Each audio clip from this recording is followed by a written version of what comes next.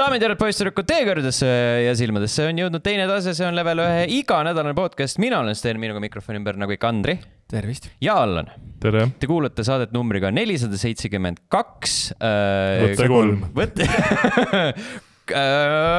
ja nagu juba sai otsustatud, siis äh, esimest, kas teine jäi ka alles audiona? Ma arvan, et jah ah.. ühesõnaga, esimest katsetust saavad kuulata kõik need, kes äh, vajutavad join nuppu. Äh, sel nädalal boonus podcast'i all saate kuulda seda materjali, mis läks kaduma, mida ei saa taas luua, sellepärast et see on niivõrd unikaalne mm. -hmm. aga kui teise katsetuse salvestus audiona on ka okei okay. kas ma siis võin need äh, kokku see, panna? see, see, see, selle sa võid panna siis nagu ekstrana nendele, kes äh, rohkemat ah,. erivisematele. see on hea, see on hea mõte. äriplaan, kes ütleb, näed kuradi kapitalist raisk ei, aga sina ütlesid ju seda praegu, mitte mina. sa olid nõus, sa olid nõus. no jaa, aga see on. aga sinu nagu, idee on see ikkagi. vaata, ma olen see klassikaline töötaja, vaata, ma olen nõus sellega, mida kapitalist ütleb mulle. ühesõnaga, äh, kõik, äh, kes te vaatate seda saadet praegu ja meile raha ei maksa, äh, aitäh teile. kõik, kes te mhm. meile raha maksate, siis saate kuulata, mis, mida me tegime esimese võtte ajal ja kõik, kes te maksate meile rohkem, saate kuulata ka seda, mis me tegime teise võtte ajal. vot nii, väga hea mm, -hmm. otsustatud. just just äh, loodame, et peaks ti tihedamini hakkama nii tegema. tihedamini perse keerama või? ja, ja, ja rääkides perse keeramisest äh,, kommentaarid äh,. Küsisime mitu saadet tagasi, et kirjutage meile mingeid numbreid, eel-, ikka jätkuvalt ei tea, mis numbreid te kirjutasite äh,. eelmises saates küsisime, küsisime konkreetselt, kirjutage suvalisi numbreid äh,. Youtube'is äh, Richard Oide üheksa, neli, kuus, kolm seda tegi, kirjutas selle ühe numbri, mida me kõik teame, mida tavaliselt tavaliselt internetis kirjutatakse. mis ei ole neli, kaks, null? mis on sixty nine. Nice. Ning äh, Discordis Palmer kirjutas Rimworld Hype äh,, mu lemmikmäng, mida ma kunagi mängida ei saa, sest ma kaotaks nädala, sulgudes jälle mm. -hmm. ja me vahepeal tegime selgeks, et All on seda mänginud kaks ja pool tundi ja,. jah, jah mm, -hmm. oli küll jah päris, päris normaalne. ühtlasi ka me tegime selgeks, et Allani kõige enim mängitud mäng Steamis on äh, Skyrim seitsmekümne seitsme koma kuue tunniga mm. -hmm. kas sa mängisid moodidega seda või? Äh, siis äh, ei eksisteerinud veel neid. ma võin, tahan, ma räägin sulle kiirelt, kuidas ma Skyrimi ostsin kaks tuhat üksteist aastal. ma mäletan, et ma sain kuskilt mingi telefoninumbri, mingi venekeelne tüüp oli, helistasin talle okay väga suss juba. ja ütlesin, et ma sooviks äh, Skyrimi Steam'i koodi osta. siis ta ütles, et tee mulle ülekanne, saatis sõnumiga mingi pangakonto. Siis äh, kandsin üle, siis mingi Natalja vastas mulle, aitäh, raha on käes. homme saad koodi. sain ka väga põnev lugu. kas see on nagu mingi vaese mehe punktid punkt ee või? ma, ma ei tea, selles suhtes, et äh, ühesõnaga mingi Natalja mulle äh, selle, see oli Vene regiooni see kood. aga mis sa maksid tollel ajal? kakskümmend viis eurot. joh, ei tea. Aga mäng ise ju maksis äh, toona vist oli kuuskümmend. kuuskümmend jah ja.? et äh, sääst missugune. päris kõva. toidad siin agressorriigi majandust ei no ma ei tea. siis oli vähem agressiivne. siis oli vähem agressiivne jah mm.. Davai. olid ajad podcast at level üks punkt ee on uh, meiliaadress, kuhu saate kirjutada, võiksite teha seda wink-wink uh,. Discord, Youtube, Facebook, Twitter, Instagram, kõik need muud toredad kanalid, Threads ka kindlasti, Threadsi peaks tegema leveli konto. Igatahes mm -hmm. jätke neid kommentaare, sel nädalal palun ärge jätke ühtegi numbrit, sellepärast et ma arvan, et seda taset, mis on ette jäetud, ei mm -hmm. saa enam ületada. Uh, tegelikult saab, äh, pange, pange see number, palju, palju te Skyrimi endale ostsite. aa, või mitu tundi te Skyrimi olete mänginud. tegelikult te võite kirjutada ka seda äh,, mitu tundi te olete Fallouti mänginud, sellepärast et äh,. see on põhimõtteliselt sama. põhimõtteliselt sama. Äh, mitu tundi Betesta mänge te olete mänginud mm? -hmm. Äh, ja rääkides mängudest, rääkides Betesta mängudest, rääkides Falloutist äh,, siis äh, teeks otsa lahti sellega, et äh, mina olen mänginud kahte Fallouti mängu tööle olen pannud kolme Fallouti mängu mm. -hmm. Kuna, kuna eelmises saates rääkisime pikalt ja laialt sellest äh, edukast äh, Amazoni seriaalist, tänu millele on kerkinud ka kõikide Fallouti mängude müügi ja kasutajate numbrid kõigi aegade kõige kõrgemale, kõrgemasse punkti, kus nad kunagi on olnud, vähemalt Steamis näiteks Fallout neli oli vist Euroopa müüdum mäng äh, eelmisel nädalal nice. mingil hetkel äh,. igatahes mina mängisin sellist asja nagu Fallout seitsekümmend kuus. oli lõbus. noh, ta oli, ta oli tore. Fallout seitsekümmend kuus, mõtlesin, võtan selle ette, kuna minu plaan oli see, õigemini minu, minu dilemma oli see, et millist Fallouti ma mängima hakkan, sellepärast et mm Mhm. kolm on mul pooleli jätkuvalt äh, New Vegast äh, saab alati uuesti mängida. Fallout neljas ootan ma seda Next Gen äh, update'i mm. -hmm. mis tuleb nüüd kakskümmend kuus vist kakskümmend viis või kakskümmend viis. ehk siis äh, podcast'i ilmumise kuupäeval. no näed, kas see oli nüüd siis see aeg, kui õnne. lõpuks saab hakata Fallout nelja ultrawide toega mängima? täitsa võimalik jah vist. jah. vist, vist oli jah. Äh, et kuna kõik need teemad on äh, sellised, sellised lahtised ja no vanu Fallout'e on ilgelt sitt mängida. Eriti Steam Decki peal, ma olen proovinud, ühte ja kahte või? Mhm. ühte ja kahte jah, Tactics ka, on. kusjuures äh, need võiksid küll siuksed asjad olla, millest me saame praegu väga populaarse asja nimega HD remake. võiks teha midagigi, et, et nat- natukene kasutajasõbralikumaks, sellepärast et äh, huvi on, tahaks väga mängida neid. ma võin sulle öelda, et need tegelikult on väga head mängud, nad on küll Ei väga rasked, väga rasked mängud, aga sitaks tuus on. see oleks päris naljakas, kui meil on äh, kultusmängud, mis oleksid mänguna halvad.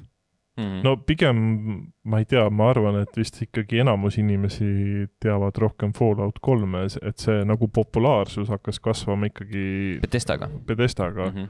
-hmm. kes siis need esimesed tegi Äh, Et Black Isle tegi Okei. okay., kas see ei olnud mitte see kuradi ma Ei, Black Isle. Interplay? või oli, ei, Inter-, jaa, sorry, Interplay oli jaa, aga Black Isle vist oli seal nagu ka kuidagi oma käpaga sees või? aga see on siis Äh, nagu põhimõtteliselt midagi midagi, sarnast nagu meil Witcheri seeriaga oli, sest et nagu Witcheri populaarsus kasvas ju ka kolmandas, kuigi tegelikult üks oli okei okay,, kaks oli mm. -hmm. hea, kolmas on maailma parim. jah, kuigi jätkuvalt mulle Witcher üks meeldib kõige rohkem. Kuigi- jätkuvalt ma arvan, et sa oled natuke imelik, aga okei okay. kuigi selle mootor oli üsna sitt, aga. nii äh,, mingit tööd nad on seal teinud kuskil, midagi jah, nad aitasid kaasa vist mm. mm, -hmm. -hmm. aga noh, ütleme, et Uh, Interplay the või Black, studio, although credited for the creation of Fallout, was in fact not responsible for the game uh, uh,, rather, kujunduse või? rather a key, key portion of the original studio came from the team that made Fallout. mm..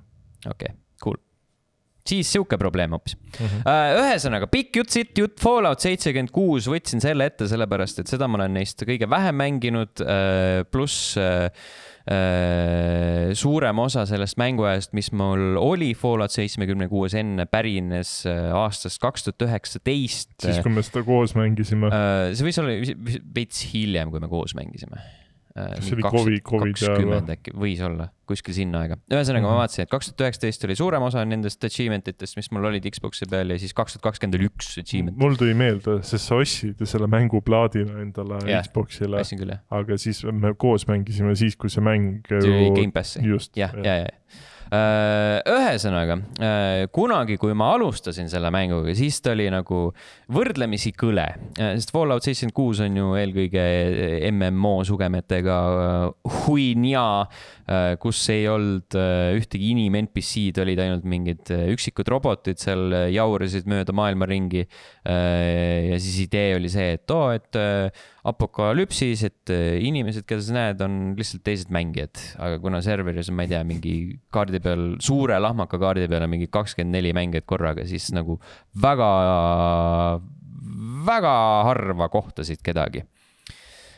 No selles suhtes, et ta veits nagu sihuke tõetruu ju on, et sul on tuuma seda seda küll, jah, aga- see aga on igav lihtsalt. aga, aga jah, selles mõttes, et kuna, kuna sa teed ikkagi nagu videomängu, et siis nagu veits rohkem inimesi võiks olla. tahaks natuke fun'i ja õnneks nüüd mm, Mhm. -hmm. nüüd ta on nagu täitsa fun Mhm. äh,. üksinda ei teki seda segadust ka, et kes parasjagu missiooni teeb ja selle eest tulemusi saab äh,. et natukene, ikka mingi paar õhtut ikka müttasin mööda seda kaarti ringi, eelkõige ma keskendusin sellele lihtsalt, et avastada seda kaarti Mhm. äh,. sellepärast, et, et see oli võrdlemisi tegemata omal ajal Mhm. ja siis ma küll müttasin seal ringi ja vaatasin, kui, kui ilus ja huvitav kõik on ja kui uus ja värske äh,. olid mingid sellised vaenlased ka, keda ma ei ole varem märganud, olid mingid äh, suured mutilaadsed, mingid kaevurid a la, mingid tulid ründama sind vahepeal ja okay., ja, siis tegime mingi äh, Firebreederite mingi missiooni ära, see on mingi kohalik päästeüksus, midagi siukest. Mhm. et sai ikka, ikka ringi möllatud. muss on jätkuvalt mõnus. kaart see, et sul on nagu ette antud kaart, kus sa nagu näed kohe mm, noh, sa näed ikka visuaalselt ära, et tavaliselt Falloutis sul on Pip-Boys on mingi must hunnia ja teed, teed näed ära, aga seal on nagu lihtsalt muid, muid siuksed äh, illustratsioonid ka, et siin on mingi maja ja siin on mingi Mhm. tehas ja mingisugused asjad näed ära ja näed piirkonniti, et kuidas see maastik on, et siin on mingid tuhamäed ja, ja siin põleb ja sihuke värk. et see äh, tekitab äh, rohkem huvi seda kaarti avastada. aga, aga äh, mitte kunagi ei saa Fallout öö, olema hea, kui seda ei saa panna pausile ja kuna seitsekümmend kuus on MMO, siis seda ei saa panna pausile siis pead alati muretsema selle pärast, et kui sa jääd kuskile, kuskile, kui sul on vaja kuskile ära käia, nagu äh, mul tihtilugu on, et sa pead lapsega tegelema vahepeal, siis äh, kogu aeg vaatad, okei okay, äh,, vist on okei okay siia mm. -hmm. siia jääda, siis pead ütlema, et või oota, oota, oota, oota, siis kahmad kuskile ennast kas sa mingi puu otsa ei saa ronida või? äh,. ei, ei saa, mõttetu. täiesti mõttetu paske äh,. seitsmekümne kuuel on ka see, et see, mis ta on kuradi äh,, oh, ei tea äh,, alla, alla Patsia, mis iganes selle kuradi maa koha nimi on ähm,. see on, seal on hästi palju ähm, hästi palju muru ja siukest äh, Appalachia äh,. hästi palju mingit äh, kõrget rohtu ja siis aeg-ajalt ikka on see case, et tulevad mingid need äh, kuradi maa nirgid ja koerad ja kõik tulevad läbi rohu ja paned tähelegi ja siis äh, Mhm. pidevalt ehmatad seal nojah, mm.. püssi, püssidega on okei okay tulistada äh,. ma ei tea, nagu sihuke okei okay mäng. kas on lõbus? Äh, enam-vähem on lõbus Fallouti, Fallout seitsmekümne kuue suurim probleem on sul, et ei ole seda nagu ähm, edasi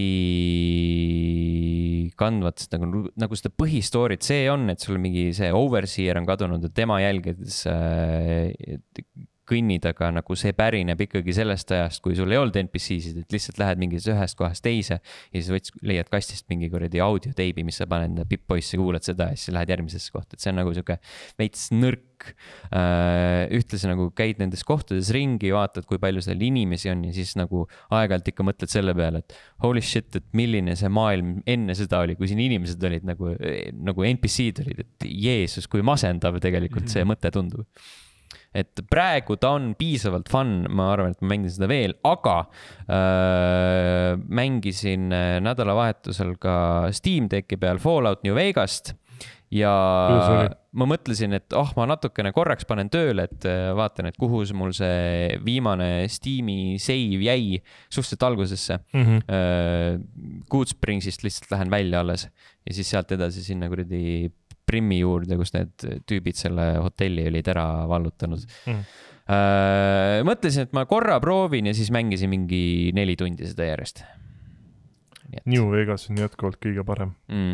see on ikka jõhkralt uus äh,. meil oli Discordis oli ka mingi arutelu äh,. Chautzer ei saanud vist üldse sellest nagu, ei suutnud sellesse sisse elada äh,. Kepler ütles, et sellel on, et ta on nagu ei ole hästi ajahambale vastu pidanud või meha-, mehaaniliselt aegunud ja ma nagu üldse ei oska ta visu-, visuaalselt ei ole võib-olla hästi vastu pidanud, aga minu arust on isegi selles kontekstis ta on päris hea aga üldiselt on ta ikkagi noh, mina tegin New Vegase tegin esimest korda läbi Playstation kolmel aastal, kohe ma ütlen sulle, kaks tuhat kuusteist, mm.. et äh, ei, sorry, millal neljas tuli? Kaks tuhat viisteist Äh, kaks tuhat viisteist tuli Jah. neli, jah. jah, et see oli täpselt niimoodi, et ma olin endale just vist Playstation nelja ostnud ka ja siis oligi, et mõtlesin, et okei okay,, neljas osa tuleb, et ma teen kõigepealt kolme ja siis New Vegase läbi. ja see oli fucking, juba siis oli see veel väga okei okay ja praegult on see siiamaani väga okei okay., et Steam Deckil kindlasti ta on nagu talutavam, mm,. sest täitsa väiksem, väiksem ekraan. ja, ja, kui, kuigi sul on nagu nii palju tänasel päeval neid moode ka, millega sa saad seda paremaks teha, et kui äh, moodimissõbralik Steam Deck on üldse, on keegi proovinud või? Mm -mm. ei ole. ei tea. aga te on vaata see Steam Steam Workshop on, Mhm. on ju, aga see ei ole nende Nexus moodide ja nende asjadega seotud, see põhimõtteliselt Mhm. tähendab seda, et Steamil peab ise olema see moodide tugi olemas, kus sa saad Mhm. otseselt, otseselt sisse paugutada.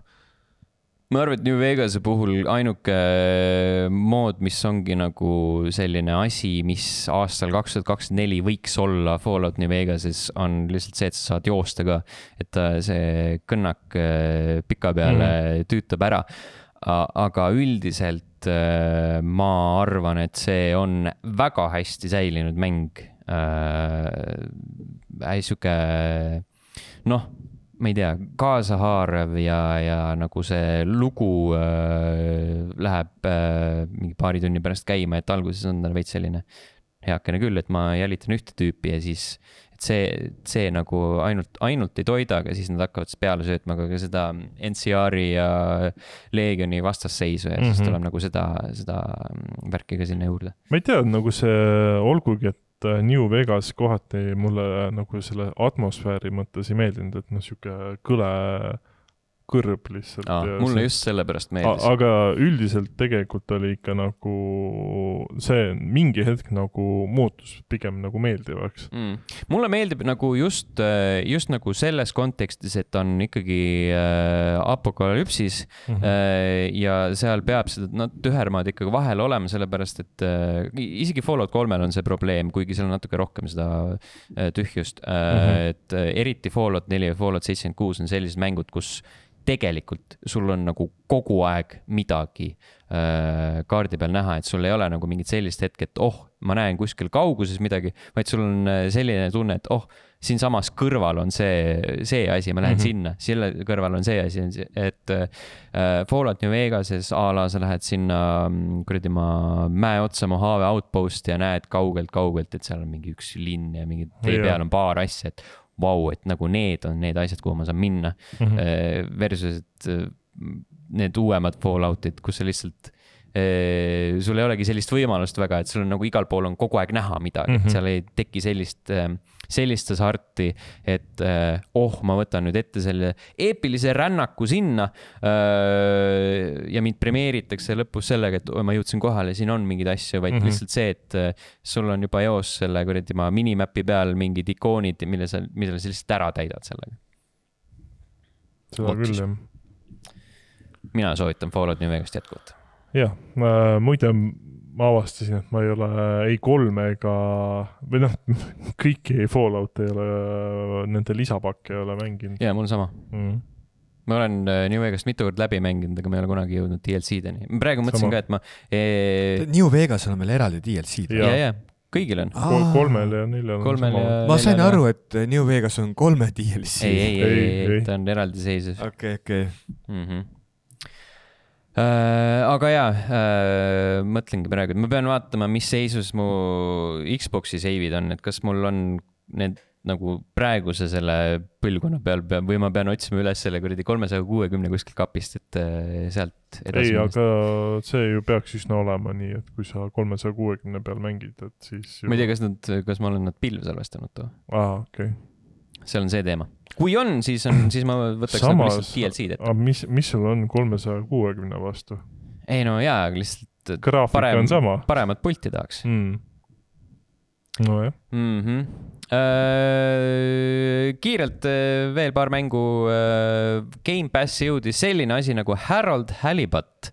See mingi nädal enne, poolteist, paar nädalat enne ilmus uudistesse, kui räägiti sellest, et võib-olla natuke pikemalt, kui näidati seda mm, käsitsi tehtud nukke kus öeldi, et arendaja on seda teinud mingi kümme aastat, sellepärast et see on kõik nagu, kõik nagu sihuke clay animation'i mm -hmm. stiilis asjad on nagu käsitsi tehtud, sisse skännitud. Äh, ja siis see tundus nagu päris uus ja siis ta jõudis kohe Gamepassi ka day one. Äh, veits olin nagu pettunud, sellepärast et sul on nagu need, äh, need mudelid, need keskkonnad, need on hästi lahedad, aga siis samas seal on hästi mingid basic ud äh, subtiitrid alla pandud, mingi, ma ei tea, mingi täiesti tavalise mhm. fondiga ja mingi sihuke ja, ja menüüd äh, on ka mingi sellised äh, noh, mitte selle stiiliga haakuvad ja siis tundub nagu selline, selline dissonants tekib, et nagu äh, sul on hästi palju tööd siin, aga samas jõle odav tunne miskipärast. aga see ongi siis, sa tead, vaata, kuhu see töö ja aeg ja panus läks mm. -hmm. no ma ei tea, et keegi oleks, oleks siis outsource inud, keegi oleks võinud mm -hmm. kuidagi stiilistiliselt ühtivad asjad see, juurde teha. see oli nagu, et, et üks inimene teeb tööd, see ei tähenda, et teine inimene ei tee sellel ajal mm -hmm. tööd, et ta võiks mm -hmm. ju ka midagi teha. jah, põhimõtteliselt küll äh,. mingi paar tunnikest mängisin äh,, kehastud nimitegelaseks äh,, oled kuskil äh, veealuses linnas, kuskil võõral planeedil, sellepärast et äh, mitu aastasada tagasi inimesed inimesed põgenesid maalt kosmoselaevaga, mis siis kukkus kuskile vee alla võõral planeedil ja ja, ja siis äh, nüüd üritate kontakti saada vist maaga äh,. klassikaline seiklusmäng, klassikaline igav seiklusmäng, ehk siis käid äh, erinevatel aladel edasi-tagasi ja räägid inimestega ja, ja teed neile mingeid äh, teeneid ja, ja miskipärast kohe alguses äh, Äh, tutvustatakse päris mitut mingit sihukest äh, tüütut tegelast, kes jätavad mulje nagu ka Harold ise on mingi selline mõttetu ludri ja siis ma mõtlen nagu, et okei okay, nahku ma, nahku mina peaks temaga tahtma mängida nüüd mis te teete uh,? aga ma ei tea, nagu siis uh, mõne aja pärast uh, muutub natukene, natukene põnevamaks, et um, võib-olla mängin edasi, ma ei ole veel otsustanud. Gamepassis mängisin sellist asja veel ka paar tunnikest nagu Those Who Remain, see oli mingi odav õudukas uh,, mis on põhimõtteliselt uh, sarnane Alan Wake'i põhimõttele, ehk siis sa pead kasutama valgust pimedates keskkondades, lahendama mõistatusi ja, ja, ja vältima, vältima varjudes hiilivaid vastaseid mõnel hetkel on spooky, mõnel, mõnel hetkel lihtsalt vaatad, et sul on varjudes nii palju mingeid äh, helendavate silmadega kolle, et see kaotab enda võlu ära. Äh, ja siis, äh, siis kui ma enam ei viitsinud, siis tutvustati mingit eraldiseisvat kolli, kellel oli mingi suur ekraan näos, mingi helendav, lihtsalt mingi suur lamp. ja siis oli mingi suured dissid ja, ja kole, kole rõve äh, rippuva nahaga katkine keha. kes hakkas taga ajama. hästi, tal oli, sellel mängul on hästi selline mm, odav feel, et äh, see jätab sellise mulje, nagu ta oleks mingi sihuke, no klassikaline asset flip lihtsalt mm. aga sulle meeldivad siuksed mängud? Ja, ja need, need paar tundi olid väga toredad. Äh,. aga selles mõttes nagu Steam on ju ka tegelikult siukseid mänge täis, aga seal osad on nagu tehtud hästi, et nad ikkagi sellest hoolimata, et saad aru, et see on asset flip, ta töötab. ja, ja, ja äh, see mäng on natuke liiga kohmakas selle jaoks, et äh, äh kõik tegevused äh, saaksid olla palju sujuvamad ja mõnusamad, et kui, kui, kui oleks mingi lihv seal veel peal, siis võib-olla oleks see isegi päris tore aga ma ei viitsinud rohkem seda uimast asja mängida. Äh, ja mm. viimane asi, mängisin natuke edasi Penny's Peak Breakaway'd, äh, mida ka Allan on mänginud. ja, kui me juba siin oleme. kui me siin ma, oleme, võta üle. ja ma mängisin demo, et see nüüd on siis Sonic Mania tegijate poolt mm. -hmm. 3D platvormer. jah, 3D platvormer. Äh, kuna, kuna seda on nagu nii palju kiidetud, siis ma mõtlesin, et äh, prooviks demo aga ta on äh, Switchi peal hetkel soodukas ka üheksateist euri, et veits, veits pani mõtlema, aga siis mõtlesin, et enne kui ma selle raha välja käin, siis ma proovin. ma ei tea, ma ütleks, et nagu päris hea mäng on mm. -hmm. nagu see feel on hästi hea sellel mängul. et võib-olla see, need tegelased on need nagu nii väga ei huvitagi, aga kogu see mängu feel on nii, nagu ühel heal platvormeril peab olema, 3D omal. Et äh, ma ei tea, ma nagu ei oska, ei oska nagu midagi rohkemat öelda, et ta ongi täpselt see platvormer, mis ta võiks ja peaks olema mm. -hmm. Seal ainuke probleem on see, mis aeg-ajalt kaikaid kodaratesse viskab, et on ikkagi fikseeritud kaameraga mm. -hmm. et sa ei saa nagu seda vabalt muuta mm, -hmm. et see vastavalt siis stseenile vahetab sind, kus ta, kus ta asetseb. ja siis see aeg-ajalt äh, muudab äh, raskeks äh, arusaamisega, et kus kuradi kohta sa täpselt hüppama pead mm. -hmm mm,? üldiselt on ta nagu fun, I guess, aga mängisin neljanda leveli algusesse kuskile poole peale ja siis vaatasin, et oo, kokku on siin üksteist maailma. Hmm. tuus võib-olla natuke liiga palju äh, veel mõtteid Penny kohta? Äh, ma ei tea, vist, vist ei ole, visuaalselt näeb väga hea välja ja mm, jookseb, Switch'il jookseb ka väga hästi, et äh, on tore mäng, aga ma ei tea, vist nagu päris täishinnaga ei ostaks, aga sihuke sood-, sooduka mäng oleks ta kindlasti mm,. jah, ma arvan, et see on aus hinnang mm. -hmm. Uh, aga kuidas on lood uh, Unicorn Overlordiga uh,? ma ütleks, et kellele vähegi Vanillaveeri mängud meeldivad, siis see on kellele äh, vähegi vanilla maitseb. jah, see, siis on see väga hea mäng, et ta on nagu põhimõttelt on ta suht sarnane Fire Emblemiga. Äh, aga selle vahega, et kui sa nagu Fire Emblemis kasutad äh, lahingute ajal nagu ise valid oma tegevused, siis äh, selles mängus vähemalt siiamaani seda ei ole, et sul ongi nagu need väed on või siis nagu need unit'id ja jah, ongi väed. Ja siis, siis sa lihtsalt, ongi sul vastased on samamoodi kaardi peal ja siis, kui sa nagu ründad neid, siis näidatakse sulle esmalt ära see nagu võidu või kaotuse protsent, et nagu, et kumb pool nagu rohkem siis elusid või asju kaotab mm. -hmm. et ta selline nagu veidi manageerimisosa on ka, sellepärast et sul on seal võimalik nagu siis linnad ära vallutada või mingid li-, jah, linnad ära vallutada või lossid. ja siis seal veidi niisugust nagu mikromanageerimist ka teha, et mingi arendad seal mingeid asju, põhimõtteliselt äh, paremaid unit eid saaks toota ja et ta on senimaani see paar tundi, mis ma olen mänginud, on päris huvitav olnud ja noh, visuaalne stiil on tal täpselt selline nagu äh, Vanillaveeri mängudel on sihuke unikaalne siis. unikaalne anime. E, unikaalne anime jah. et äh, noh, kindlasti see mäng ei ole kõigile, aga noh, pigem ta ongi sihuke väga, väga, väga nišikas jälle aga kes vähegi neid mänge hindab, siis tasub proovida, et kui kui kolmteist Sentinels äh, meeldis, siis meeldib see mäng ka. kas sellel vist on demo ka olemas kuskil minu arust? sellel on demo olemas jah mm., aga see demo oli ka päris mahukas.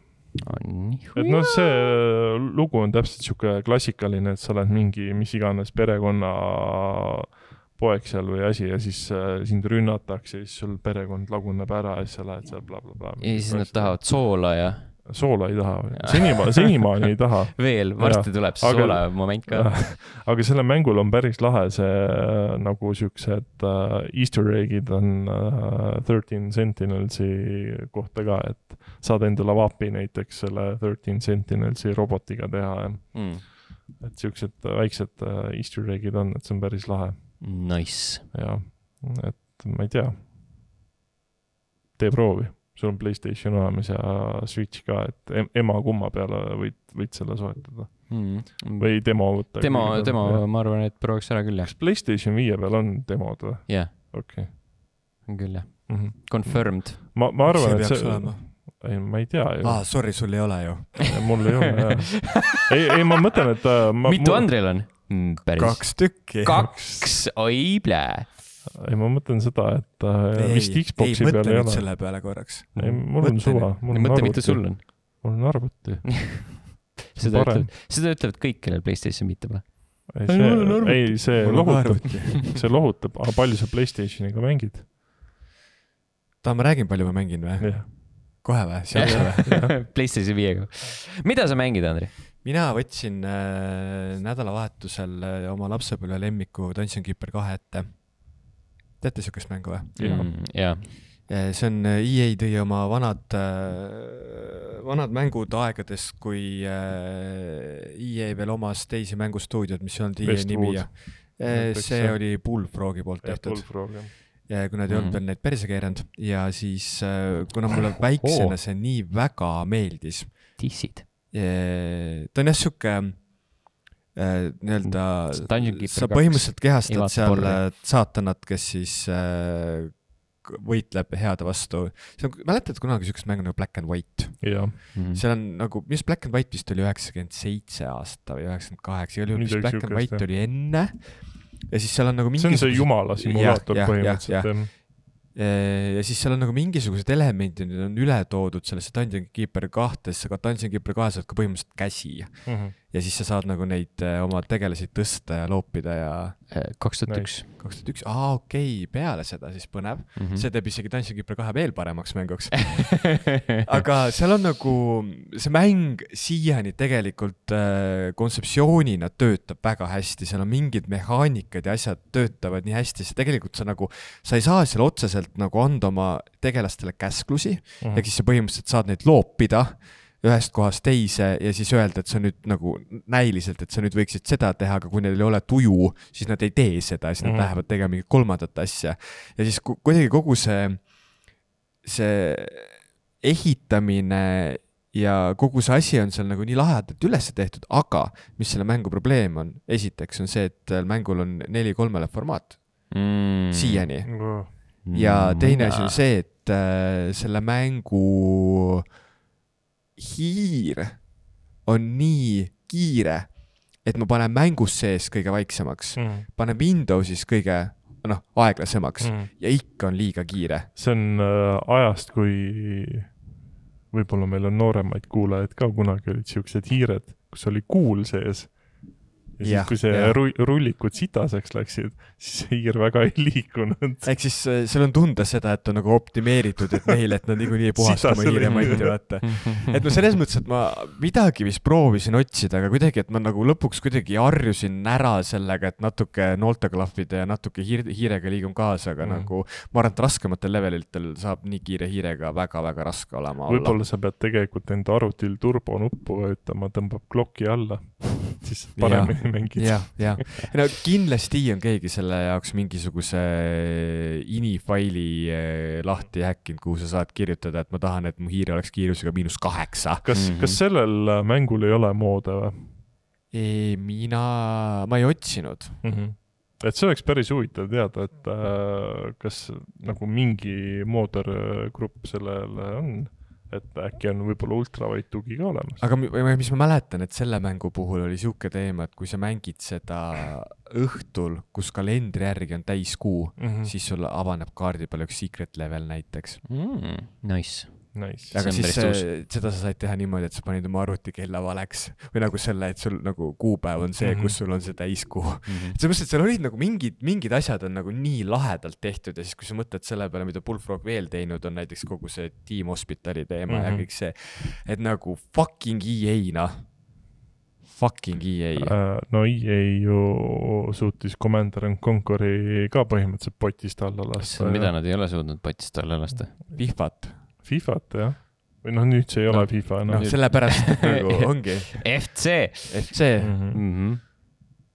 päris kurb tegelikult, isegi äh, see WRC mängud, ei see uus WRC vist oli päris hea. ma ei usu sellesse. aga mis mulle kogu see Dungeon Keeperi ja ka Team Hospital ja kõige selle puhul meeldivad, et nad on nagu võtnud mingisuguse žanri ja ka tegelikult tolle aja kontekstis nad on seda nagu lahendanud nii mänguliselt mm. -hmm. ja see ei ole nagu klassikaline strateegiamäng, mis meil tollel ajal juba oli ju tegelikult noh, Age of Empires kaks oli juba selle, ei, üks oli ju selleks ajaks väljas. ja siis ju noh, veel mingeid asju, Warcraftid Mm -hmm. kõik, mis on nagu hästi klassikalised strateegiamängud ja siis tuleb Dungeon Keeper kaks, mis on nagu täiesti teistmoodi. igal juhul mulle väga-väga, noh, et mul on alati siukseid nostalgiapauke, hirm mängida, et kas ma suudan sellest üle olla mm. -hmm aga Dungeon Keeper kahe puhul oligi ainus asi, mis käis vastu, oli see, et noh, resolutsioonist ma isegi suutsin üle olla, aga see hiir oli see, et ma pidin kohanema sellega mm, -hmm. aga noh, lihtsalt mäng on siiani nii lahe.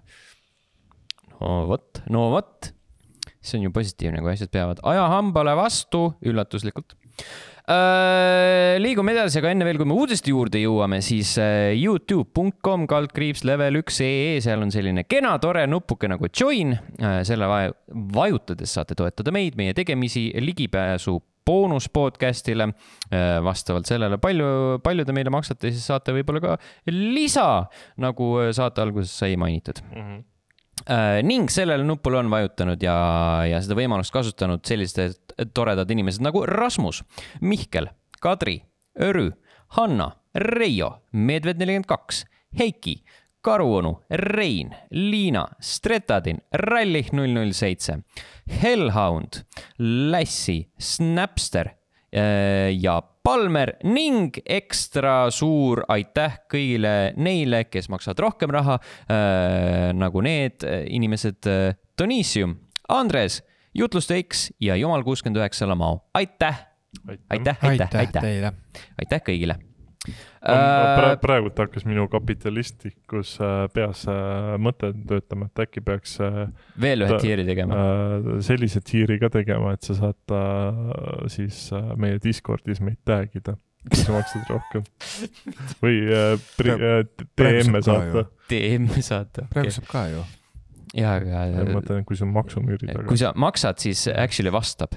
Aga te, te nagu ei vasta praegu, keegi teid tag'ib Discordis kõigile teinekord ei viitsi. heakene küll äh,. eelmainitud Youtube'i kanalil on leitav. päris nõme oled Final Fantasy seitse re, uh, Rebirth uh,, Rise of the Ronin ja Dragon's Dogma kaks ka kohe uh,. Level üks punkt ee, seal on pikk artikkel Robertilt sellest, kuidas ta mängis erinevaid automänge ja jõi kõrvale Tartu limonaadi, erinevaid versioone siis sellest saate teada, mis millega sobib äh,. ning mängud, mis kahe podcast'i vahel ilmuvad, kahekümne kuues aprill on see kuupäev, kui meieni jõuavad äh,, oot, kas mul oli kakskümmend kuus?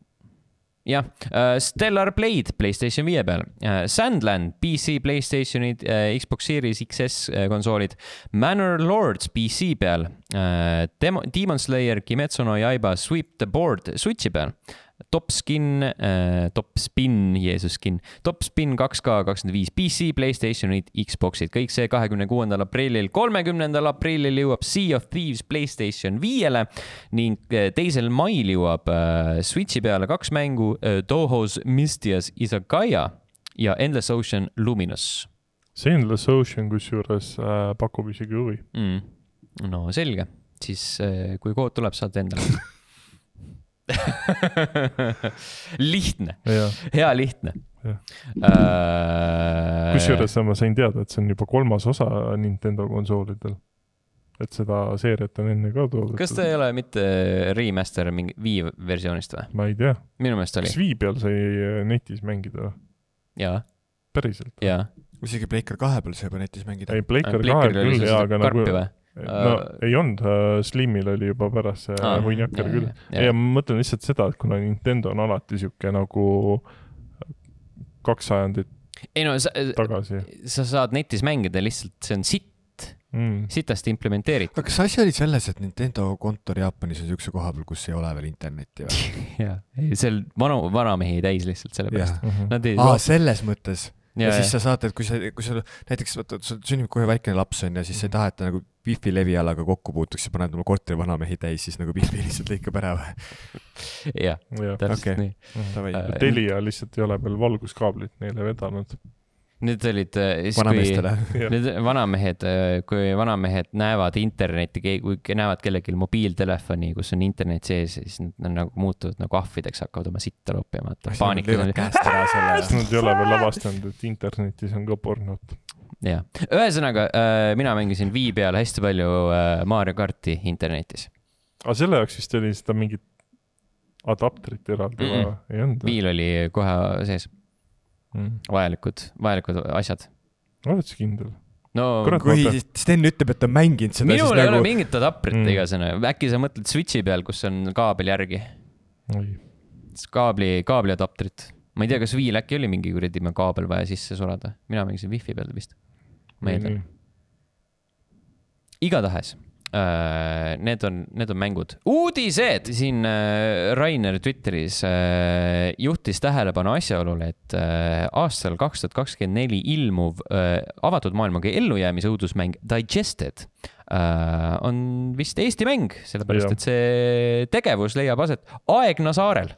See on varem ka minu meelest läbi käinud, et see on ühe tüübi poolt tehtud Unreal Engine'i mängumootori peal, vähemalt mina seda diiserit olen äh, vaadanud siis, kui meil veel stuudio oli vana koha peal. Äh, ja see video on küll läbi käinud, lihtsalt see, et ma, ma ei teadnud, et see Eesti oma on. Karel on arendaja jah, mm. -hmm. ma ka ei teadnud, aga ma nägin neid äh, screenshot'e ja see mäng tundub päris tuus. ta on, noh, ta on sihuke Asset Flip. asset flip veits ja see on see äh, kehakaamera, kehakaamera horror Mm. äh,. hästi sellise realistliku feel'iga ja, ja ilusad kasepuud olid seal saare peal. aga selles mõttes, et nagu see treiler oli ähm,, see minu meelest vist äkki hakkas enne seda Buckshot ruleti teemat pihta või kuidagi sellega äkki paralleelselt, Mm -hmm. sest et see vist oli enne küll jah, kui ma äh, isegi seal pole minu meelest selles kontekstis vahet, kas see on asset flip või mitte, ta näeb sitaks tuus välja ja e- esimene treiler sai ju kohe-kohe sadu tuhandeid äh, vaatamisi läbi, mille see on nii-öelda enne ilmumist juba vairaliks saanud mm. -hmm. et ma arvan, et äh, see saab sitaks tuus olema. see on järjekordne teist sa- saadet järjest. Äh, räägin asjast, mis tundub äh, ideaalne videogame tanki video Mhm. kui sa räägid sellest ideaalne videogame tanki video, siis ma isegi ei tea, mida sa selle all silmas pead, aga räägime sellest kaameraväliselt. see on v- vibe'i küsimus Vibe, okei okay. mm. mm, -hmm. jah, -hmm. Vibe'a ühesõnaga. vibe'a küsimus mm. -hmm. Äh, veel natukene Eesti asja, noh, kaudselt. The Wolf Among Us kahe pilte näidati meile. Kas see on ka mäng, mis on nüüd, ma ei tea, sellest on heietatud vist juba aastaid. mitu aastat ja, ja Mhm. kaks tuhat üheksateist taas loodi äh, Deltail uute inimestega mm. -hmm. sel juhul siis ja siis äh, koos sellega nad kuulutasid minu meelest välja kohe Wolf Among Us kahe. treilerit nägi, näidati kaks tuhat kakskümmend kaks ja siis nad äh, eelmisel aastal lükkasid selle mängu edasi Mm. Äh, ja nüüd äh, hiljuti meie vana hea sõber, saate, saate mm, parim semu Jeff Keely jagas äh, Twitteris äh, pilte, nelja kaadrit äh, sellest mängust ja siis äh, siin äh, kohalikus äh, mänguarendajate Discordis äh, anti, anti teada, et, et äh, siin paljud asset'id on loodud äh, Tallinnas asuva firma poolt, see on nüüd äh, Jeesus Kristus, mis selle nimi oli? Mm, ma mõtlesin, et sa oled kirja pannud Ma- seda keele ma- peal, ma tean, kus nende kontor on, neil on hästi hea kontor. jah, ja, ja äh, mul kadus see nimi ära Playtech või? äh,. Ringtail, Jah, Ringtail on aga see jah. kusjuures äh, mina olen õlleklaasi taga kuulnud siukseid lauseid, et Ringtail tegi sellesse mängu tunduvalt rohkem kui ainult lihtsalt asset'id. oo, jah, Eesti mäng. Eesti mäng aga seal põhimõtteliselt. vist ju tekkiski see, et kuna Deltailiga ikkagi läks nii perse ja siis tegelikult Ringtail on ka hästi palju inimesi praegu viimasel ajal koondanud ja ma saan aru, et selle üheks põhjuseks ongi seesama mäng. Mm. et nad jäid mingid rahad jäid saamata ja kõik pidi nagu ikka. Deltaili, Deltaili needus jah, Mhm. mm.. aga igatahes äh, eestlased teevad asju, tore näha jaa, äh,. Lõpuks ometi. aga Ringtail, neil on ju ka väljaspool Eestit stuudioid. ja neil oli äh, Kasahstan, Gruusias Gruusia. äh, ja oota, üks teine oli veel. Ukrainas äkki oli ka või? ei mm,. ei äh, olnud, äh, Creative Mobile oli, oli Ukrainas. neil oli äh, kuradi, mis see on, Chisinau. noh.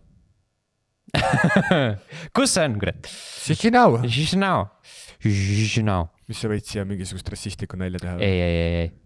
nii, kohe ma ütlen sulle äh,. Tallinn, Estonia äh,, Chisinau, Moldova Ah, äh, ja Tbilisi äh,, Gruusia, Georgia. issand jumal, ma ei tea, mille, vahepeal oli Georgia ja nüüd öeldakse jälle Gruusia, kuidas see eesti keeles toimub? vist tuleb Gruus. öelda Gruusia, Fuck nagu sest aastaid et. äh, võib-olla minu, mandariinid tehti ju Gruusias, minu Gruusia režissööriga. Mhm. Informatsioon pärineb äh,, pärineb Marko Reikopilt äh, Eurovisiooni ajalt, aeg-ajalt. kus ta Ära- ära kuula. kus ta Ära- ütles, ära kuula Marko Reikopit, talle meeldib igast asju pista. Marko Reikop eile Ringvaate saates üritas ka välja vabandada ennast sellega, et ta mööda lasi. et ta ei ole harjutanud millest ta mööda lasi? äh,. Äh, märklaua, potist äh,. mingit märklauda lasi ühesõnaga mingi õhupüssiga või asjaga, mm,. siis ta lasi mööda All right. All right. mm. -hmm. siis ta hakkas vabandama. okei okay.. vabandab ka Todd Howard äh, selle eest, et äh, Fallout äh, viite peab veel tükk aega ootama, sellepärast et nad äh, teevad veel pikka aega Elder Scrolls kuute ja alles siis hakkavad Falloutiga tegelema ja praegu teevad üldse äh, Starfieldi ja, ja natukene Fallout seitsekümmend kuute ka veel ikka veel. teate, ma vahepeal korra proovisin Starfieldi arvuti peal ka, mõtlesin, et äkki on nagu parema graafikaga, faks ei jookse arvuti peal ka üldse hästi. Mm. see on, kurat, ma mõtlesin ka selle peale, et äkki peaks Starfieldi edasi mängima, aga see on väga nii fucking viitsi. igav mäng lihtsalt. see on nagu kuidagi, see on ikkagi, ei ole see feel, sul on ikkagi avatud kaart versus lihtsalt mingid pisemad platsid ja siis sa pead hästi palju mingit mm. -hmm. fast travel ima ja laadimisekraani vaatama mm. -hmm. see on kõik kaine jurr. ja need avatud, avatud kaard, kaardid seal Starfieldis on ka suhteliselt tühjad. aga, aga, aga, aga, aga Falloutid on äh, praegu niivõrd populaarsed, et isegi Nexus Mod ütles, et äh, kuulge, sorry, te ei pruugi sellele saidile kohe, kohe ligi pääseda, sellepärast et kõik tahavad enda Fallouti moodida praegu Nice. mm.. mis on päris tuus. jah, kas te olete Taylor Swifti uut albumit kuulanud? kusjuures, kui sa küsid minu käest nimeta kolm Taylor Swifti lugu, siis ma ei oska isegi ühtegi nimetada. Äh, oota, mis, ma tean ühte mm,. Mm, Shake it off on see. seda ma, seda ma tean, kas see mingi Shakira lugu ei olnud või? ei. Mm. see on shake, shake, lugu. shake it off, shake it off. mina ei saa tema fenomenist aru siiralt. Ma saan aru, et ta jõi äh, Superbowlil õlut hästi kiiresti kaamera ees. Mm. okei, jah, tal, tal on Peika on jalgpallur, praegune Peika. tal on neid palju olnud ja sellepärast, et tal on hästi palju albumeid ka, et tal on hästi palju Peikast olnud. ja tal on hästi palju raha ka. Iga iga albumi ilmumisel tuleb Peika välja vahetada. Fuck, mul on uut albumit sul, sul on vaja. uut muusat vaja. Time for heartbreak, ühesõnaga ma ei, mina ka ei saa aru, sellepärast kurat, ma peaks vist õppima või? kuulasin mingit äh, snippetit. kirjuta talle, äh, tere, olen vallaline, sooviksin ka sinu peika olla. ja siis yeah. üks uus album kõlas kõik täpselt samamoodi, mingi aeglane hunnia äh,. igatahes, miks ta on täna siin teemaks, on see, et ta mainis enda laulus GTA-d kuidas see lause seal on täpselt? uh,. Truth there spin bottles, you know how to ball, I know Aristotle, brand new full throttle, touch me while your bros play Grand Theft Auto mis see on nagu, et äh, kas nad on siis nagu samas ruumis või? ei, ma seda ma ei tea loodetavasti mitte. äkki ta mõtles nagu online'is. võta näpust ei, katsuma peab. mm.. keda? teda, jah ta, just ütles, kas üldse ei ei kuula nagu või? näpp on seotud, aga mitte sellisel kujul, nagu sa just ütlesid. millisel kujul? millega sa tavaliselt katsud, keelega või? Kas sa- ütlesin, võta näpust. kas sa, kas sa käid nagu Selveris ka, et katsud, kas tomatid on värsked?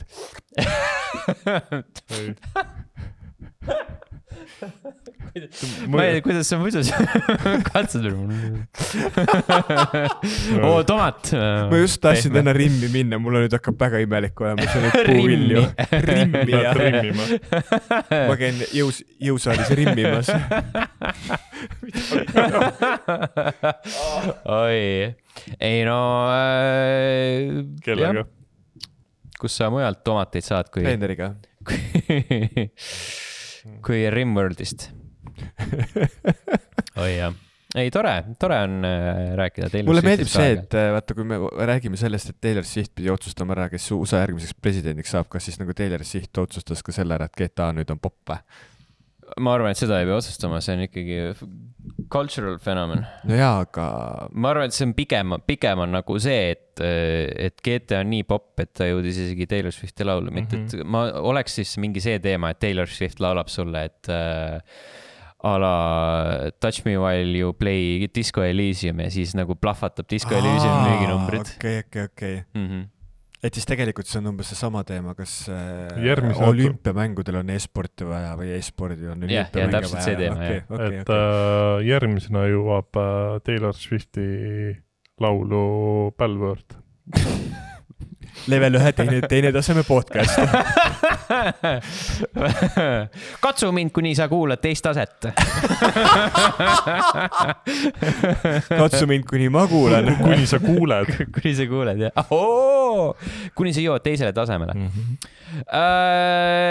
järgmine teema, Doom kaks, selline minu lemmikmäng. tuttav videomäng mm.. selles mängus äh, tehti aastal tuhat üheksasada üheksakümmend kaheksa selline speedrun'i rekord, kus esimene tase läbiti äh, viie sekundiga, täpsemalt siis viie koma üheksa koma üheksakümne seitsme sekundiga. aga ta registreerib mängus seda kui viis Mhm. sekundit. ja see rekord püsis kakskümmend kuus pikka aastat kuni äh, käesoleva aasta, issand jumal, mis ta oli, aprilli alguseni. kui level, esimene level läbiti äh, nelja koma üheksakümne seitsme sekundiga. Lihtsalt jooksed läbi. Aga ja noh, siis on tulistad ju- õigetesse kohtadesse ja, okei. ja seal olid mingid strateegiad. ma mõtlen, et nagu arvutid on vahepeal nii palju kiiremaks läinud, FPS on rohkem ju. ei, aga seal ikkagi äh, asjad püsivad samad nõme. mm. -hmm. See ei ole see, et sa paned lihtsalt häki peale oh,. ma olen kiirem. ma mõtlesin, aeg muudab kõike. mõtlesin, et äh, Doom ühte saaks ilmselt nagu väga lihtsasti äh, punktist A punkti B läbi joosta väga kiirelt, sest seal ei ole isegi vaja sul midagi nagu lahti lukustada, aga peab, peab korra Doom kahe käima panema, vaatama, kuidas, kuidas see on. kui kiiresti sina saad esimese leveli Doom Mhm. kahes läbi mängida, sellepärast et see on suhteliselt äh, lühike level, mingi paar koridori ja siis Jaa. oled lõpus. kas äh, siin nüüd tuleb panna see Max Verstappen? aa jaa, seal on jah, sa jooksedki ju samamoodi, sul ei ole vaja siit mitte midagi saada, sa jooksedki algusest lõpuni ja Allan, kodutööks sulle, kiiresti sa lõpetad. Doomi. vaatame, järgmine saade äkki saab. Äh, minu üks. idee oli, et äh, kui meil peaks kunagi tulema mingi hästi tõsine, tõsine oluline kihlvedu, siis äh, üheks panuseks on see, et äh, kaotaja peab äh, jõudma speedrun.com mingi mänguga kuskile tabelisse. Kas sa mäletad seda, et üks viimane sarnane kihlvedu, mille ma kaotasin, ma pidin äh, GTA-s äh, online'is jalgsi ühest mäpi otsast teise kõndima? minu arust sa üritasid, aga see oli nii sitt, et see. ei, ei, ma tegin selle ära, ma tegin live stream'i sellest ju., aa, ja, ja, sellepärast ma aga ei mäleta, mitu, kas läks mitu kaduma. stand-up'i Ragnar on teinud? null. see on nagu, see on nii piinlik lihtsalt, et äh, ma ei taha teda siin podcast'is rohkem näha, et nagu mina, mina tahan oma tutvusringkonda ainult mehi, kes peavad sõna. no vahepeal isegi nagu ma ei tea, Karl-Alari on mulle öelnud, kuule, sa tegid nii hea nalja, kirjuta kolm veel, tule open mic'ile, Mhm. et äh, jah, fucking Ragnar, noh. noh, või nada uh,. vot siuksed, siuksed lood uh,. natuke kõlakaid uh,. Helldivers kaks võib-olla võib jõuda Xbox'i peale Nice. uh,. Sony in early talks to release Helldivers two on Xbox, it's claimed aga Microsoft tahab enda asju ka tuua Playstationi peale mm. Uh,. Microsoft on enda asju päris palju Playstationi peale toonud, mistõttu on ka siin olnud vahepeal selline olukord, et uh, kõige paremini uh, müünud mängud Playstationi poes on Xbox'i omad. ehk siis Xbox'il on rohkem mänge Playstationi poes kui Playstationil endal säh sulle Playstationit, ma mängin arvutiga. mm. -hmm. ma ka. aga no see on muidugi äh, niimoodi kaudselt, sest seal on Call of Duty'd ja värgid. kuulujuttudest veel väidetavalt öö, ütleb Ubisoft kohe-kohe välja selle, millal ilmub järgmine Far Cry seitse ja mida sa seal, mida sa sealt oodata võid. seda ähm, seda uudist teatas üks lekitaja mul on koos äh, pre-order juba tehtud. Sil-, Gillian Murphy äh,, Gillian Gillian Murphy pildiga, aga siis ta pärast ütles, et ei, tema ei mängi seda põhipaha, uut järgmist villanit. äkki ta mängib head just. äkki on lihtsalt mingi tuumapommi teema, lambi jorss. mm, lambiors, äkki ta mõtles mingi Oppenheimeri tiisi. äkki oli mingi sihuke lüke, oo, aga see ajast oleks ju päris uus tegelikult. ma ei usu, et nad ajastuga teevad, ma lihtsalt mõtlen, et aa, lihtsalt mingi tuumapommi teema. jaa, mingi tuumapommi teema. aga see oli juba ju. või ei olnud Far Cry viies ei, seal lihtsalt läks, lendas õhku, mm.? aga see oli kuidagi lamp. ah, et äh, seitsmes sa saad nagu selle tuumapommi raketiga lennata või tuumapommi peal, ratsutad tuumapommi see on peal. natuke teine mäng ju, Just Cause. mm? -hmm. see oli äh, Doctor Strange Love. Saints Row neli, kas Just Cause enne ei olnud või? kas see oli tuumapommi peal või? või ta lihtsalt. ei, seal sai lihtsalt, Ei, seal äh, lihtsalt- just lollusi teha. see ei olnud päris see, minu meelest Saints Row nelja alguses oli see, et sa äh, ratsutad äh, tuumapommiga või oli ka lihtsalt rakett, fuck, mina Ei, see- aru. nagu Just Cause, Just Cause'is oli see üks konkreetne missioon ju, kus sa olid äh, raketi peal. minu meelest sa olid kogu aeg Just Cause'i raketi peal. no võib ka niipidi öelda jah. põhimõtteliselt küll jah. aga tegelikult on ju see ju Stanley Kubricku filmist Doctor Strange Love, Mm -hmm. kus ta seal lõpus ratsutas tuumapommi, seal, seal oli küll tuumapomm, mille peal ta ratsutas. vot siis, Mm -hmm. aga mul on pre-order tehtud juba. ükskõik millisel kas sa maksid kaheksakümmend üheksa eurot selle eest jah? kas sul on kodus ikka raamitud Evesi pilt ka või? ei ole. sihuke Eve'i altar, Eve'i altar ja iga, iga õhtu läheb, paneb küünla põlema sinna ja siis nagu tõmbab vaata neid konnade küljes seda nahka ära ja siis paneb sinna. jaa. mina panen iga õhtu Ubisoft Balticu nii, Instagrami konto postitustele like.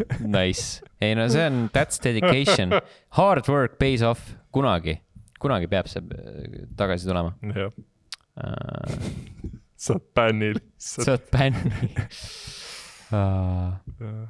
mis meil siin viimane on? huvitav, kas HD Tanel võtab kunagi oma lehelt minu bänni ära või? miks ta peaks? ma ei tea, lihtsalt mõtlesin selle peale korraks. talle ütlesin asju. mm.? ütleme midagi. Äh, Need, oota, vaatame kohe, kas on midagi uut, aga need olid igatahes uudised äh, siin vahepeal ah,, Embracer läheb kolmeks, see on pohhu, viitsi. Ei sellest viitsi. ei viitsi rääkida, see on Mhm. nii hästi juhitud ettevõte. Äh, Deadpool ja Wolverine, uhi uus treiler troppis. kuidas teile meeldis? täitsa tore oli minu meelest oli ka jumala fun mm. mm. -hmm. mis seal see nagu, kas see on siis nüüd teises universumis või? -hmm. ei no kuna ma eeldan, et nad seovad selle kokku niimoodi, et sul on see kuradi ma Loki sarjast äh, tuttav see, mis iganes agentuur, kes äh, müttab multiversumis ja, ja okay., ja, ja teeb asju ja siis nad, nemad tulevad, värbavad Deadpooli, ütlevad, et meil on vaja Wolverine'i, olge koos ja siis tehke asju. aa, sest et Wolverine ehk siis Logan sai surma. jah, aga ma eeldan, et ma panustan, et see on nüüd mingi kolmanda universumi Wolverine, et mitte sest see Logan oli ka teise universumi Wolverine või ei, et noh, et kõik need X-meni, X-meni filmid mm? -hmm. ja Logan ja, ja mis iganes, need on üks universum. aga see, kes, ma, see on minu teooria, kes on siin nüüd selles Deadpool ja Wolverine'is, see Wolverine on teisest universumist pärit. sest et ju tegelikult ju nagu X-men ja Deadpool olid ju samas universumis. Sest seal olid ju filmide mingi paralleel, kuna Deadpool ju tahtis ka osake X-menidest olla. ta käis seal ju kooli taga ja ja mingit seal oli Colossus ja vist oli. jah. Fuck jaa, need olid, need olid Foxi omad ja siis loogiline oleks, et nad on samast universumist. ühesõnaga, ma panustan, et Deadpool läheb teise aga universumisse., aga ma proovisin lugeda mingisuguseid äh, fännide mõist-, mõtis-, mõtisklusi selle treileri osas ja siis see, et äh, Ant-Mani koljust oli tehtud äh, baas sellele pahale. mm. -hmm. see oli päris nõus. tuus. Mm -hmm. tahtsin öelda nice ja tuus korraga. siis tuli nuus. nõus. päris nuus mulle meeldis see, et äh, need naljad on jätkuvalt samasugused. mm.. aga aga tundus mõnusa vibe'iga pigem. see ei ole nagu mingisugune Borderlands kolme naljad, vaata, et nagu. no veits, veits on, aga need äh, lihtsalt töötavad selle vahega. sellepärast, et Ryan oskab paremini nalja teha. seal on kuidagi teistsugune vibe ja seal ei ole seda punnitatud äh, nantkägi huumorit aastast Mhm. kaks tuhat kaksteist. seal tuleb loomulikult. see tuleb kuidagi loomulikult jah, see on ka- kokaiininali oli täitsa, täitsa tore Mhm. näiteks aa, see oli lahe jah. mm. -hmm. No näed, ikka osatakse asju teha, kui vähegi tahetakse. selles suhtes ma ütlen ausalt, et äh, Deadpooli filmid on alati nagu Marveli pahnast äh, minu lemmikud on, sest need on no naljakad. nad ei ole kunagi varem selles Marveli pahnas olnud. teine osa, et esimene osa töötas minu jaoks väga hästi. Mhm. Mhm. teine osa jättis natukene külmemaks, kuna seal ta proovis minu jaoks natuke liiga sihuke Marveli-lik film olla. esimene oli sihuke tuus. Aga samas naljad olid teises ka head. ei no jah, aga selles mõttes, et sa tahad ju filmi kohta midagi muud ka. kuigi ikkagi tegemist on ju action filmiga, mitte naljafilmiga. Mm, aga nalja tahaks ka. nii ja naa, ütleks, tahaks naljakat action'it. naljakat. seda sealt äh, kindlasti Mhm. saab. seal ju igasugused seda, kui Wolverine'i hundu, hunduküüsid ei tõusnud ja Mhm. siis ta lõi munadesse ja. See on alati naljakas. yeah. oi plee. seal taustal oli äh, üks, üks koomik siin oli ka seal, vaata äh,. Lifefields Just Feet või mingi sihuke äh,. mingi siukene, issand jumal äh,. Fucking, kes tegelevad jalgadega äh,? ilu, ilu mõistes. pediküür pediküür jah. pediküüri salong minu meelest oli seal. ja siis äh, nali on selles, et äh, Rob Liefeld on Deadpooli looja ja siis tema on kurikuulus sellest, selle poolest, et ta ei oska üldse jalgu joonistada. That's, that's the Nad reference. võiksid äh, Tarantinoga mingi pundi teha. Tarantino õpetab talle kõiki, mis ja kõik, mis jalgadesse, puudutab jalgu. kõik, mis jalgadesse puutub nagu. Salme, Salme Hayeki jalad. mees, tule siia, tule siia, ma näitan sulle, ma tutvustan sulle kõik. istu siia, onu opa. onu näitab, kuidas elu käib. oo, jalad. miks te kohe ei öelnud mm.? vot, see tuleb nüüd äh, sel suvel. nii, see oota oli juunis juba või? uh,. juuli, aa, juuli Mhm. mm. -hmm. juulikuus, Summer blockbuster. Summer Blockbuster ja USA, USA on kakskümmend kuus juuli, äkki Eestis kattub sama. ma ei tea, ma ei viitsi otsida täpsemalt praegu. aga juulikuus, tõenäoliselt kinos, lumi maas. lumi, lumi võib olla maas, aga ei garanteeri, aga ei ole ka loodame, välistatud. et ei ole. mm. -hmm. vot uh,. The new Deadpool and Wolverine trailer has already broken Marvel and MCU records. Cool, Nice. lahe, tore.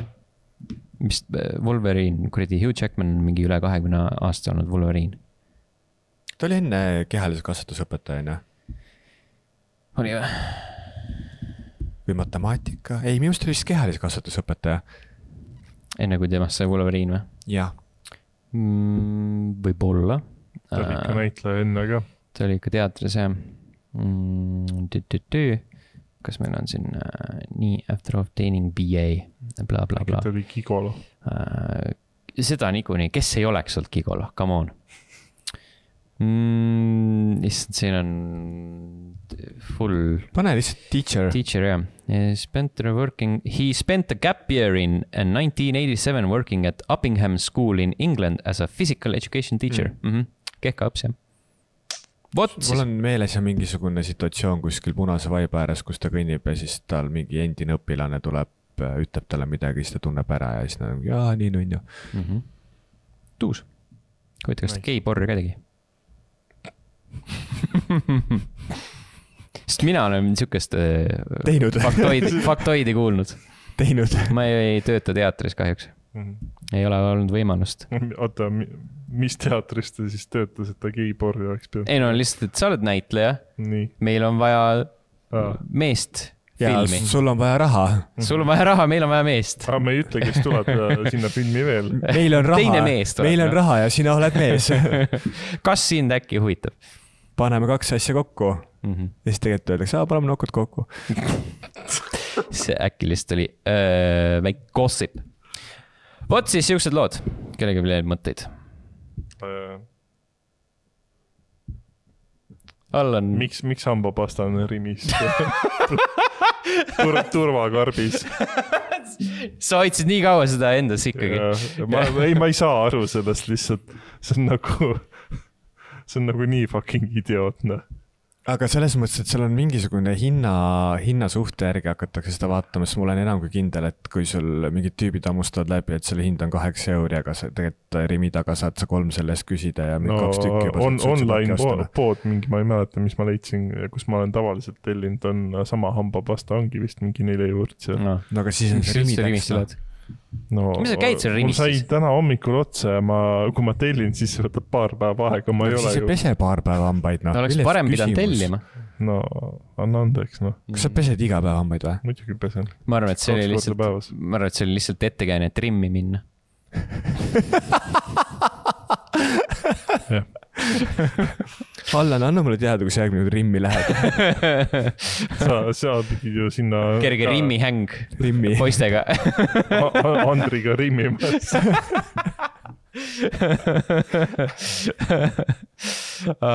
poistega väike rimmihäng, hei joo. hea Hei küll joo. küll. aitäh vaatamast. jätke kommentaaridesse, millal teie viimati rimmisite. tšau. tšau.